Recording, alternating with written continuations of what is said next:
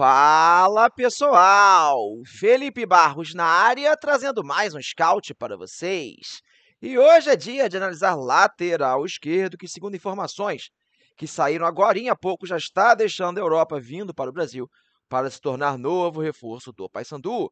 Estamos falando de Keffel Rezende, brasileiro, 24 anos de idade, estava jogando em Portugal e chega para ser mais um atleta do Papão. No vídeo de hoje, o que vamos ver? Números do jogador, nessa última temporada, um mapa completo de cruzamentos histórico na carreira e, claro, vou dar a minha opinião sobre mais essa contratação, mas não sem antes te lembrar que é muito importante se inscrever aqui na FBTV, deixar o likezinho no vídeo, ativar o sininho para receber as notificações, compartilhar o nosso conteúdo e, claro, conhecer e se cadastrar na Bet Nacional, casa de apostas da FBTV. Galera, na Bet Nacional, além de você encontrar as melhores Cotações do mercado, saques e depósitos são instantâneos.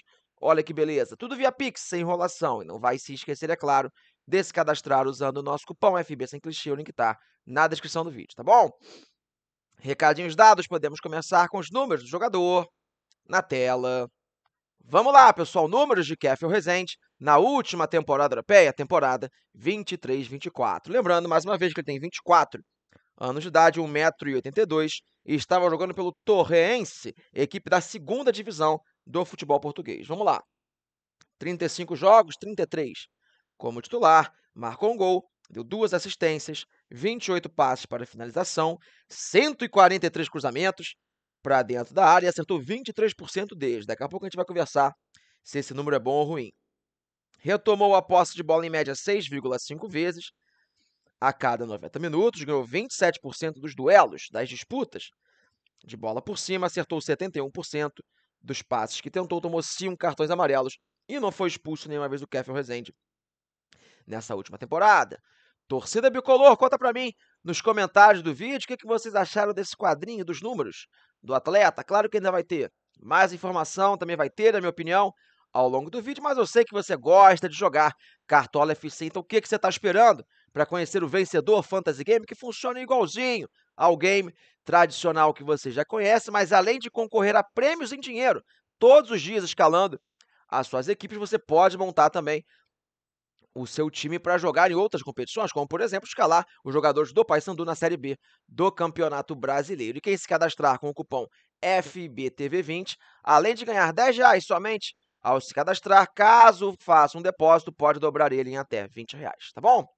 Voltando para o jogador, pessoal, seguir falando sobre o Keffel Rezende. Ele atua em Portugal praticamente, atuou em Portugal durante praticamente toda a sua carreira, mas foi agora na temporada 22-23 que ele teve a sua maior sequência como titular. Foi a temporada que ele teve maior quantidade de jogos e principalmente a quantidade que ele teve uma relação de partidas e titularidade mais intensa, né? melhor desde que ele joga em Portugal. Ele nunca chegou a jogar na primeira divisão, jogou a terceira e agora na segundona de Portugal, mas pelo menos dentro do recorte curto que nós temos de carreira do Keffel, ele chega ao Paysandu depois da melhor temporada da sua carreira, tá bom?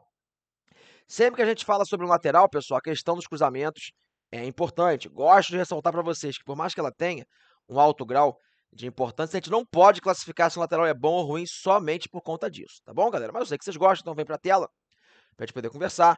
O mapa completo de cruzamentos do jogador, a gente consegue ver a região do campo, de onde ele executou a maioria dos cruzamentos, se ele acertou, se ele errou, se gerou finalização. E para a gente poder começar, 23%, pessoal, está dentro da média. Tá bom? Não é um índice assim extremamente positivo, mas também não é nada para a gente ficar muito preocupado. Normalmente, os laterais ficam entre 20% e 25%, que é acertar um cruzamento a cada 4 ou 5, perdão, tentativas.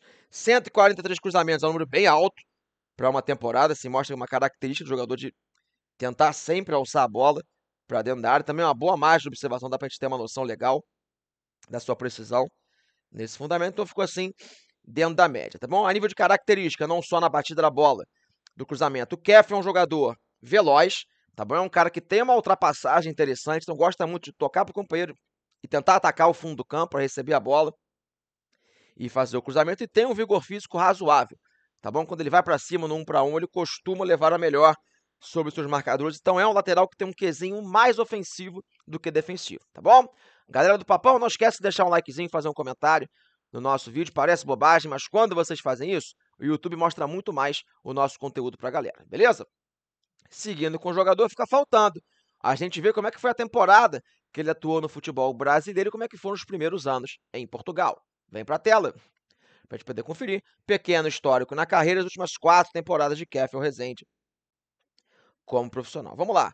2020, uma passagem curtíssima pelo Retrô de Pernambuco, fez três jogos, somente um como titular, não marcou gols, não deu assistências. Em 2021, ele chega ao Trofense, que jogava a divisão inferior, né, a terceira divisão, lá em Portugal, fez 19 jogos, 5 como titular, 2 gols e uma assistência. O ano seguinte, ainda pelo Trofense, 31 jogos, 9 como titular, nenhum gol e uma assistência. Vai para o Torreense, aqui sim na segunda divisão portuguesa, 15 jogos, 9 como titular, nenhum gol, nenhuma assistência. Então, assim, ele não teve uma passagem empolgante pelo futebol português, mas para a galera que gosta de ver o copo meio cheio, pelo menos nessa última temporada ele conquistou a titularidade na sua equipe. Foi disparadamente a melhor temporada no velho continente, tá bom?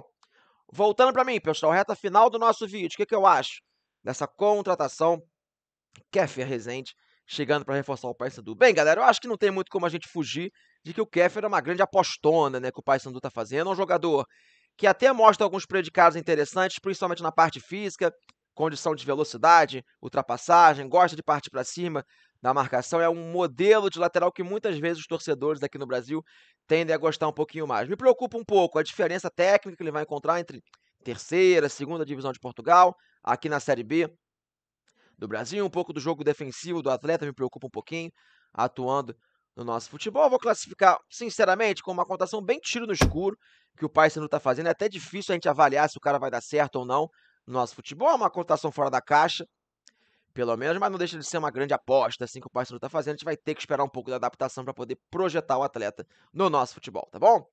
Falei pra caramba, dei a minha opinião, quero saber de você, torcedor. Se gostou, dessa contratação. Concorda, discorda, na minha opinião? Conta para mim nos comentários, beleza?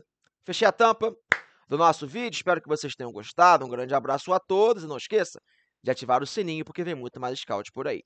Valeu!